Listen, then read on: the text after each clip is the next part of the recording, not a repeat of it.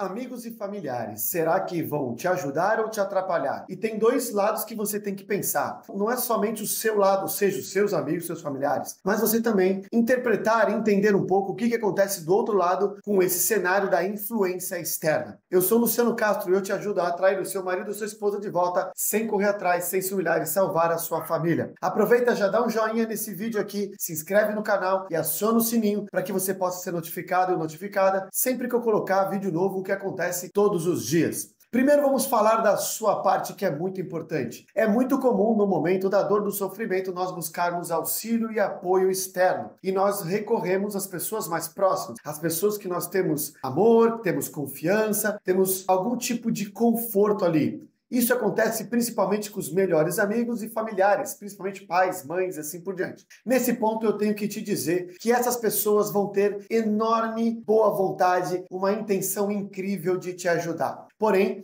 como eu sempre falo e analisando já diversos cenários, eles vão superestimar a capacidade deles em conseguir te ajudar e vão acabar te prejudicando. Não é porque eles querem, mas porque eles não sabem como. Por mais que você diga, inclusive, olha, mãe, pai ou amigo amiga, não fale com meu ex ou com a minha ex. Fique tranquilo, só estou falando com você porque é isso que eu estou sentindo. A pessoa vai superestimar a capacidade dela e muitas vezes vai até chegar lá, olha, não conta nada para ela, mas falando com seu ex, seria interessante que ela tá diferente, ela é uma pessoa do bem, etc e tal, tal, tal, tal. E vai conversar com a pessoa querendo ajudar, acreditando inclusive que ele ou ela, né, ou seja, o seu amigo ou sua amiga, pode ser o salvador da pátria de todo um cenário que você está vivendo. Afinal de contas, ele gosta de você, ela gosta de você, seu pai, sua mãe, seus amigos, eles gostam de vocês. Mas com isso, na verdade, eles querem que vocês saiam dessa dor desse sofrimento e vão tentar ajudar da forma que eles sabem. E isso pode ser uma catástrofe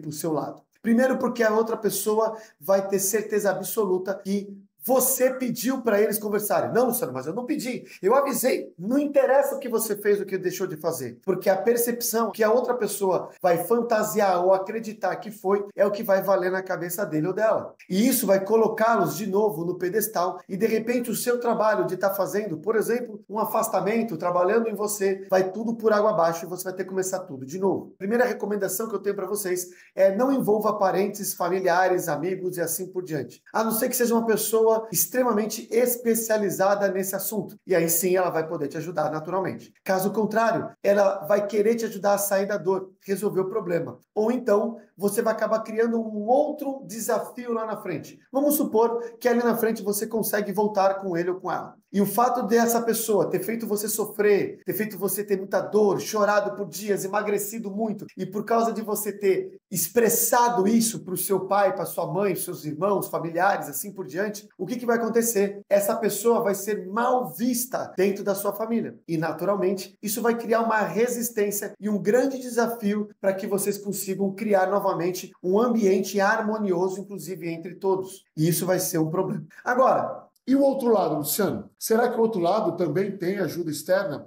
ou influência externa? Com certeza. Então veja, não é só porque a outra pessoa vai ter amigos, amigas que vão vir falar, mas eles vão buscar a ajuda externa. E esse é um ponto que eu quero que você tenha atenção, porque eles vão buscar também ajuda com amigos, familiares que apoiem o que eles estão fazendo. Diferente de querer curar a dor, eles vão querer buscar pessoas que vão apoiar, que vão dizer aquilo que eles querem querem ouvir, pessoas que encorajem eles a seguir em frente. Falar é verdade, ela não estava sendo boa, até porque ele vai contar a versão da história dele ou dela. E isso vai acontecer. Então, sim, existe a influência externa. Isso acontece porque eles estão com medo de estar fazendo uma grande besteira e estar deixando uma pessoa incrível. Então, eles precisam procurar pessoas que vão validar. Então, inclusive, é muito comum você ver a pessoa que saiu de uma relação buscar apoio com pessoas que estão o quê? Separadas, divorciadas, solteiras. Por que será?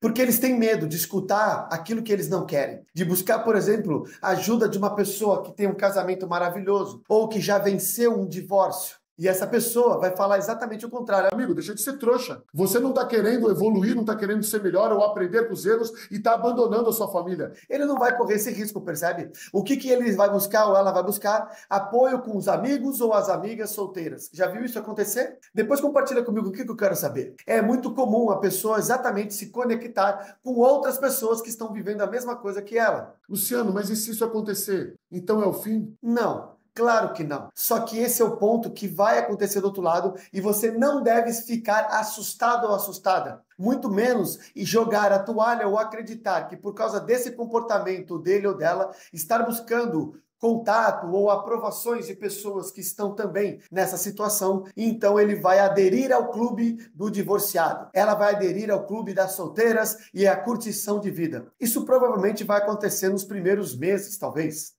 mas em breve isso vai mudar. O que importa é o que você faz nesse período, quem você se torna, o que você muda para poder colocar em xeque o que ela está percebendo. E aí, o que fazer para mudar essa percepção vai ser tema naturalmente de outros vídeos, até porque já tem muitos aqui no meu canal. Então, eu quis trazer essa clareza para você não ficar assombrado, assombrada. Não deixe esse fantasma de familiares, amigos seus ou da outra pessoa entrarem no circuito que você tem que resolver. Você vai precisar ter uma estratégia realmente muito bem estruturada para poder colocar em prática e quebrar todo esse padrão. É isso que eu ensino aqui no meu canal. Portanto, se você não fez no começo do vídeo, faça agora. Se inscreva e acione o sininho. E aproveita, compartilha com aquela pessoa que está passando por isso e acreditando que não tem mais jeito porque está tendo ajuda externa, o seu ex, ou sua ex, ou a ex da pessoa está tendo ajuda externa e querendo apoiar a decisão. Tudo é reversível, basta você saber o como fazer. Então se inscreve aqui e aproveita entra no nosso canal dos Guardiões, o canal do Telegram,